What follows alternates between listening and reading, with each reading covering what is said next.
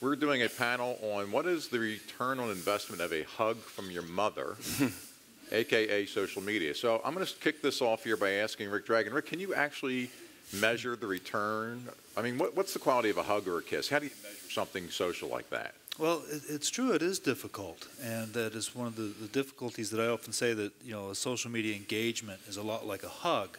And how do you measure the value of one hug versus another? Uh, well, you can.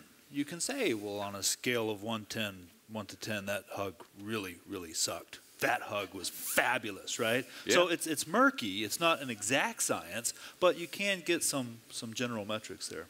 Well, I, I think there's platforms that are trying to do that. I know we have a Klout expert here, Sam Fiorella. is a Klout expert. and so, Sam, I mean, Klout, Klout's the way to measure this social media. If you're going to talk to a corporation, you're going to tell them to use Klout, right? Uh, well, the minute, uh, yes, usually when um, we're talking to the larger corporations, especially, and Klout uh, ability to measure influence is, is uh, spoken or is introduced, uh, we usually are bullshit. Um, and then we'll, and we'll move on to something that's actually real and tangible and accurate.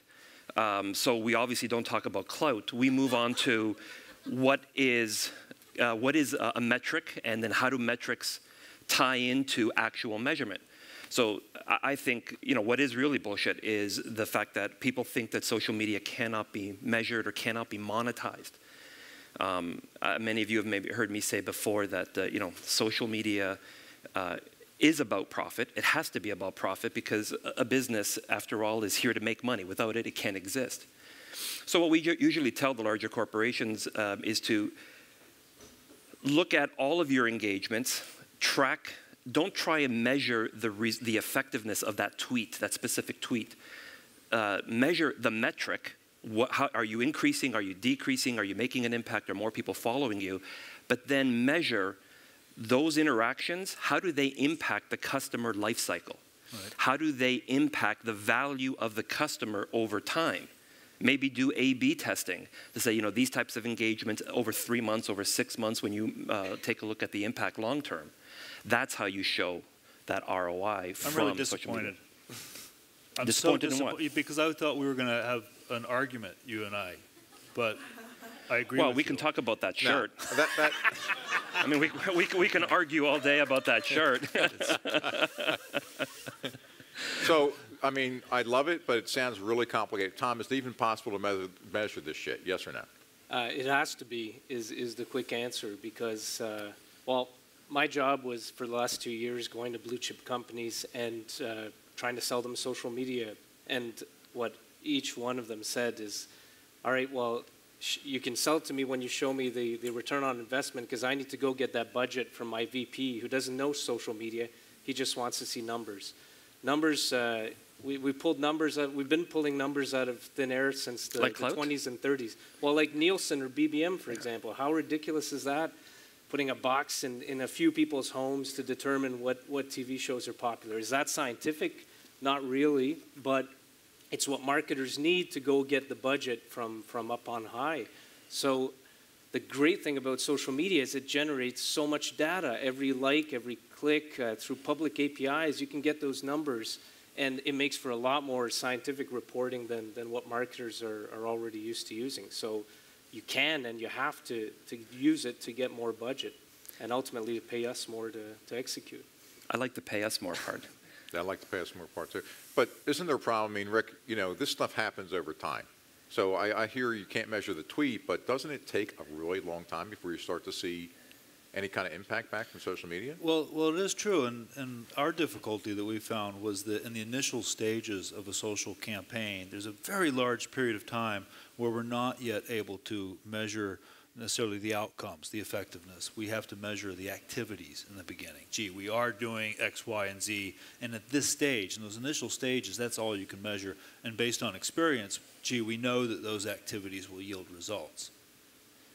Well, I, I would just add, there are some scenarios where, where it can be a lot more instantaneous. Like the, the classic one is the call center scenario, where uh, a brand might be spending a lot of money uh, running a call center to answer customer questions. And if social media starts to answer those questions relatively quickly, you can immediately see a drop in, in call Yeah. center activity. I'm, I'm thinking more of like a brand Uh, brand wait a minute, social though. campaign. Yeah, but, you know, I know Sam and I have talked about this on Biz Forum, Wednesday nights, 8 o'clock. Plug, Uh, plug. You know, you've got airlines that suck at this, and Yeah. yet they're still there on Twitter. Why don't you talk about that for a minute?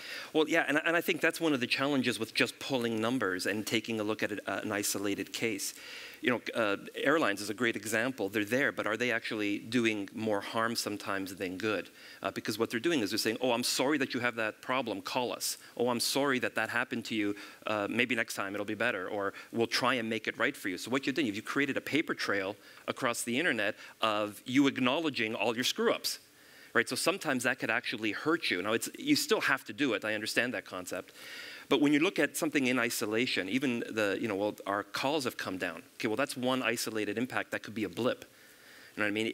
You cannot look at ROI based on a, a, a blip. You have to take a look at the overall impact on the, on the life cycle of a customer. But I think, you know, the, the call center is just one of them, and usually social media serves at least five different scenarios of return. There's the, the, the visibility, the fact that you're making your customer interactions visible to the public is a form of advertising too. It says we care, and this is what Gary Vaynerchuk writes about. Uh, but so at, at the same time as you're saving call center time, you're probably fulfilling five other advertising functions that typically have budget attributed to them. The trick would be to show how, how it all happens at once and, and how much money that represents using traditional means. Well, there, there's a cost saving factor to ROI. You know what I mean? It's not how much money I've made necessarily, but how much money have I saved in, in operating this way. But that still comes down to one thing profit. There's only one measurement in a business, and that is profit, whether it comes from increased sales or decreased uh, expenses. Either way, as long as you can tie it eventually. Otherwise, you're just, you know, you're pulling out with just metrics. Again, And, and that's where I would uh, bang this beer stein on the table and Oh, say, okay, it's on. "Gee, Let's go." I, I disagree with you because it Why? can't just be about profit. Profit's a lagging indicator. We have to be measuring things like uh, customer satisfaction. We have to be measuring things like employee development, uh, product development, all of these different things we need to measure. Well, no, I didn't say that you, you don't measure those things. You need to track them. But every one of those things that you just talked about, as important as they are, and you need them to set KPIs for, you know, or benchmarks in your industry Key or within your industry, indicators. eventually every one of them impacts the bottom line of the organization. Why would you track it if it's not, if it's not to improve it? And why are you trying to improve it? To make more money, to grow your business. No matter which way you spin at it, you have to be able to track every metric, every measurement down to profit. So it really, it- when you're talking about ROI, if you're not including the profit in that equation, You should for a definitely business include the profit, but it can't be the, the main only metric. There has to be a balance. Well, I don't know how you run your business, but I hope to make profit with mine. Oh, I hope to make a profit as well. Yeah, but but, you know, uh, big corporations uh, have have down profit years, and and that's never meant that they've stopped advertising altogether. You know, so in, in the in the blue chip world, advertising happens as as a as a reason, of course. So obviously, they'll be a lot happier if you implement social media and profits go up, but. Uh, they're, they're, the, the correlation between putting out uh, TV ads and profits has always been shaky at best, and yet millions are still getting spent uh, every minute out there. So Yeah, but you know what? And I think that you're right. You're 100% right. And I, as somebody in the marketing industry, I shouldn't be saying this, but if I was a CIO or a CEO even a CMO, uh, I'd be calling bullshit. I mean, I would. I would say, you know what? No. Why? Why am I advertising something that I cannot quantify to my bottom line? And just because it's always been done doesn't mean that we should continue to do it. Right? I, I think that we have to start to draw the line. Well, the blue chips, of course, can afford to measure awareness, can afford to measure uh, sentiment towards a brand. Smaller brands can't afford those types of measurements, but certainly on the large scale, if you're if you're spending five million on Super Bowl, you can. Yeah. Well, I, I, you know, even with small businesses, though, there's a, a gazillion applications out there. Obviously, I'm exaggerating when I say a gazillion, but uh, there's a lot of applications out there that allow for sentiment analysis that are free.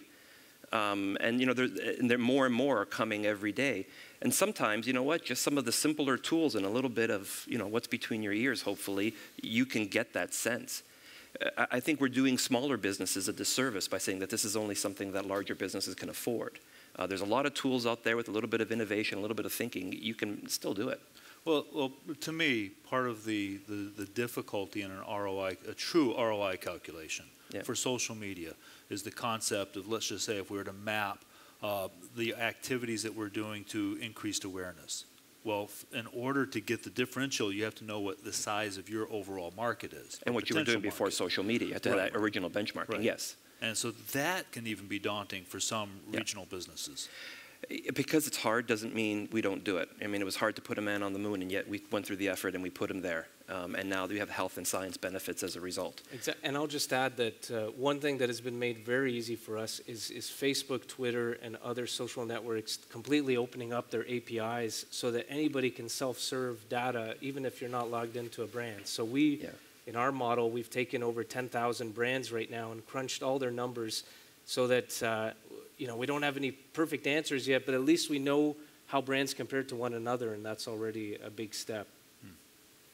Well, I mean, comparative analysis is always a, a great thing. I mean, again, every, there's so many ways you can slice and dice. How do you measure social media?